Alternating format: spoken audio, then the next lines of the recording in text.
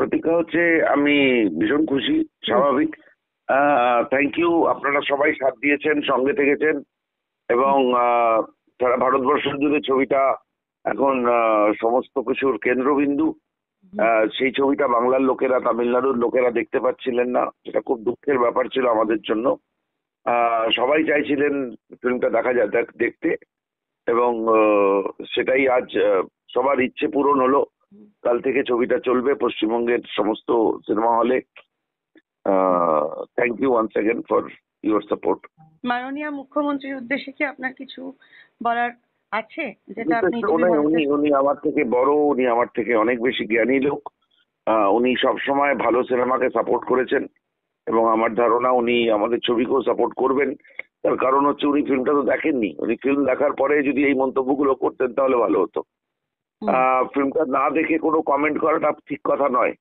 আমরা এই আমাদের বাংলা সবসময় ফ্রি স্পিচের কেন্দ্রবিন্দুতে থাকে ডেমোক্রেটিক ভ্যালুজের কেন্দ্রবিন্দুতে থাকে। তো সেইখানে এরকমের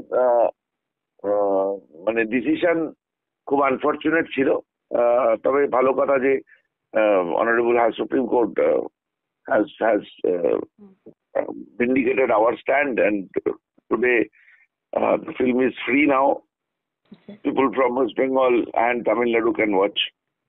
হ্যাঁ খুবই ভালো লাগছে। আমরা এটাই আশা করছিলাম যে সুপ্রিম কোর্ট একটা স্থগিতাদেশ আশা করি দেবে সেটা আজকে সেটা হলো। এবং আমি আশা করি পশ্চিমবঙ্গের মানুষ সবাই দেখুক এই সিনেমাটা। তারা দেখে ভালো মন্দ যেটাই লাগে বলুক। আশা- মানে খুবই ভালো লাগছে এটাতে। সুদীপ্ত বাবু আপনার কি হয় সুদীপ তো আমার নিজের ছোট ভাই। তো আপনারা এমনি কয় ভাই বোন? আমরা তিন ভাই দু বোন। তো সুদীপ্ত হচ্ছে সবার ছোট আর কি। আমি মেজদা ওর তো সুদীপ্ত সম্বন্ধে সবাই এখন মোটামুটি জেনে গেছে। তো নতুন হ্যাঁ। নতুন করে আর বলব কি যে ও অ্যাকচুয়ালি জলপাইগুড়িতেই আমাদের রায়কোটপাড়ার যৌথ পরিবার ওখানেই আমাদের সবার জন্ম ওখানে আমরা ছোটবেলায় ছিলাম একসাথে। তো ও বাবা যেহেতু ব্যাংকে চাকরি করতেন আহ, বদলির চাকরি ছিল। ইউনাইটেড ব্যাংকে ছিলেন উনি। আলিপুরদুয়ারে বাবা ট্রান্সফার হয়ে যায়। ছোটবেলাটা ওখানেই কাটে সুদীপ্ত এবং আমাদের। পরে বাবা কুচবিহারে ট্রান্সফার হয়।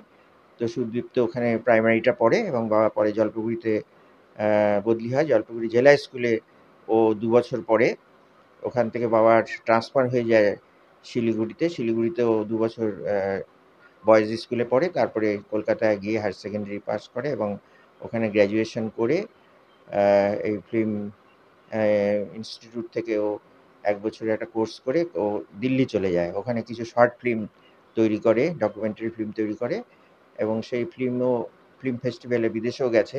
ও পুরস্কারও পেয়েছে। তো এই ফিচার ফিল্ম বড় ফিল্ম এটাই এই দ্য কেরালা স্টোরিটা ও করল এবং আশা করি সাকসেসফুল হয়ে গেছে ও। আমরা সবাই এই জন্য খুব খুশি। হ্যাঁ এখন আমরা চাচ্ছি যে সবাই পশ্চিমবঙ্গে ব্যান হয়ে গেছিল আজকের থেকে তো ওপেন হয়ে গেল। সবাই দেখুক এটা আমরা চাচ্ছি হ্যাঁ সেটা তো ওপেন এখন সুপ্রিম কোর্টের রায়টা কীভাবে আসবে সেটা আগামীতে যা বোঝা যাবে আর কি। যে সমস্ত হলে চলবে কি চলবে কি রায় আসছে সেটা তো দু একদিনের মধ্যেই আমরা জানতে পারব। আশা করি সবাই দেখতে পাবে।